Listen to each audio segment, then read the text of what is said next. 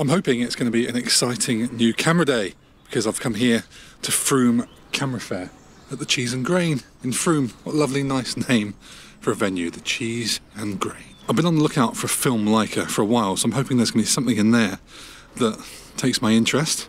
I don't want anything too old, but I don't want anything too new because, quite frankly, I can't afford it. So, trying to find a little bit of a bargain that sort of fits my needs, has the Leica name on it, and shoots 35mm film. So, let's have a look inside. I've no idea what to expect. Never been to a camera fair before. It's my first time. Exciting. Driven over an hour and a half to get here, so I'm hoping, hoping we get something out of it.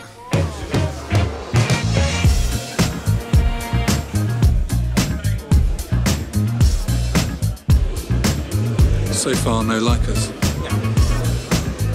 No like, no luck, no like, liker, no luck, no liker. No, can't make that work. There were so many cameras and lenses and associated stuff like prints and books, and some stuff I can't tell you what it was. Everything from iconic Polaroid land cameras to miniature cameras, some binoculars and vaguely related optical bits crept in too. Everything but Leicas.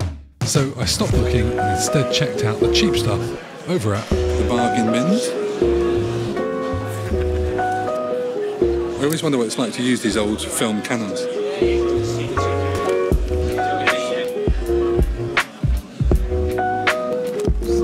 Spider-Man camera.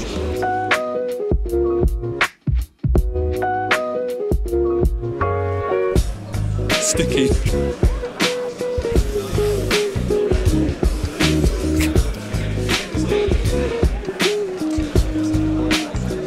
So I might have a lead on some Leicas.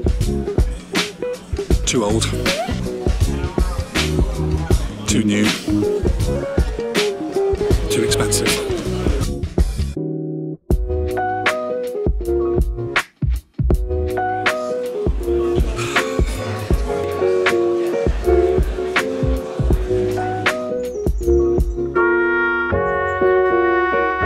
So there wasn't very much in there, just a handful of Leicas really, and it was all pretty much stuff that I didn't want. Either really old stuff that didn't have any light metering, like the 3A, or really modern digital stuff that's out of today's price range. But they did have this. Leica R6. Not the most iconic Leica, nor the most cutting edge. But in 1988, when it was released, this would have cost $3,000 just for the body. That's around £6,000 in modern English money. You can pretty much say that together with the lens, this was a £10,000 bit of kit back in the day, when adverts would boast about it not being for amateurs who needed to rely on computer chips. You can't see it, but I'm doing air quotes with my fingers.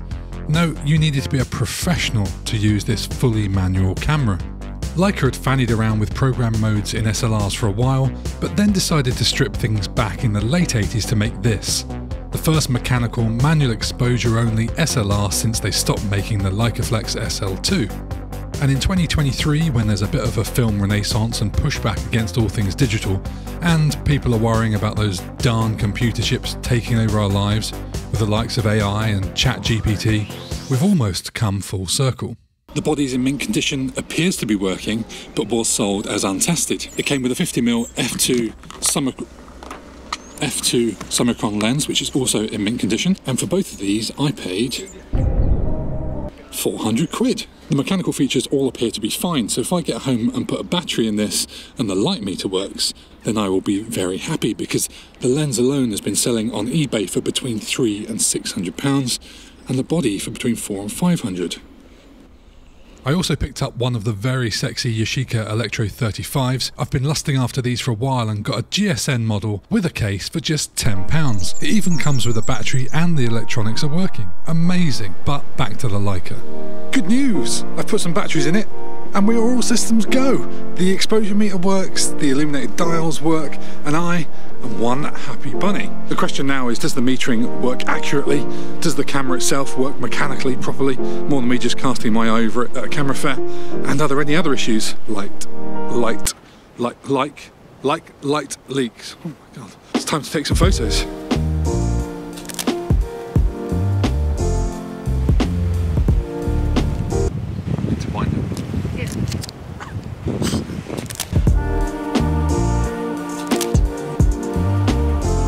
So I've come to Burnham on Sea, little walk along the beach, clear the head, and take some photos with the Leica R6 with some Portra 400 in it.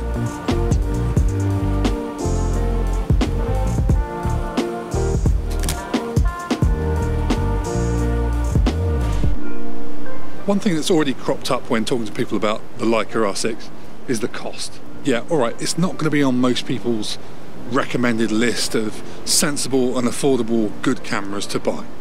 But this is photography, and what I like about that is that not much of it comes with common sense and rationale and being sensible. This is chemicals, the passion for capturing moments, the sex appeal of the tools that we love to get our hands on. Yes, you could get a Nikon F or a Canon AE1 or endless other cheaper cameras.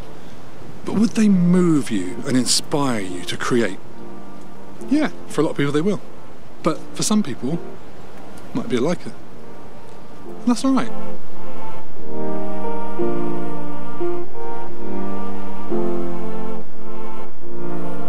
Among the other cameras I've got is a Yashica FXD, which is as far from the Leica R6 almost as possible as you can get. But you know what? I bloody love it. I use that camera a lot. It's one of my favourite cameras. The thing is, it's not about snobbery, it's about inspiration and passion. And, and I love using this Leica. I love holding it. I don't care that anyone sees me with it with a Leica badge on it. It's not about that. It's about what I get out of it. And uh, hopefully get quite a lot. Otherwise, I tell you what, that was a lot of 400 quid wasted. After shooting a couple of rolls, I can tell you I love the R6. It's back to basics, just you and the dials working together to capture a moment. It's minimalist, but what it does, it does with excellence. It's built like a tank and feels like the most solid 35mm camera I've ever got my hands on. The shutter feels like stopping a punch from a small child in a very reassuring way that some cameras don't. I love the satisfying clunks and clicks of the build quality, the weight and feel of it in my hands, how easy it is to use, the two options for metering, the illuminated dials, the big depth of field preview lever, and even the story of how I came to own it. I haven't gone into the Leica glass at all, but suffice to say, the Summicron lens is fantastically sharp, quite sought after, and a big part of the successful recipe. If you're watching this and still wondering what all the Leica fuss is, I go into how my journey with Leica started in a video I made about the Leica X1, which is also a good video to watch if you want to find out what some of the most ridiculously expensive cameras in history were. Spoilers, it's a Leica fest. The takeaway from this video isn't anything to do with Leica, really. It's about getting to a camera fair and picking up a bargain, because all I can think about now is shooting that £10 Electro 35. And that will bring me as much joy as the Leica at least until the next camera. See you next time.